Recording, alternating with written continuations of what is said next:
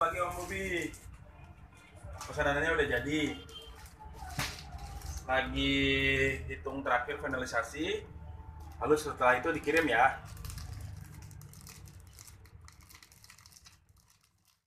Mantap.